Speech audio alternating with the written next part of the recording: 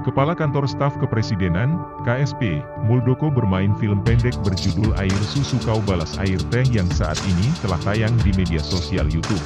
Dilansir dari Kompas.com, dalam film yang diproduksi Woko Channel tersebut, Muldoko memerankan sosok petani bernama Kang Mul. Tenaga ahli utama bidang komunikasi Deputi 4 Kantor Staf Presiden, KSP, Agung Rulianto menjelaskan proses keterlibatan Muldoko dalam film itu. Menurutnya, tampilnya Muldoko dalam film ada kaitannya dengan pesan yang akhir-akhir ini ditekankan Presiden Joko Widodo soal ancaman krisis pangan. Rulianto menuturkan, tim dari KSP yang mengusulkan agar Muldoko menggunakan media film untuk menegaskan komunikasi yang selama ini di Terima kasih sudah nonton. Jangan lupa like, subscribe, dan share ya.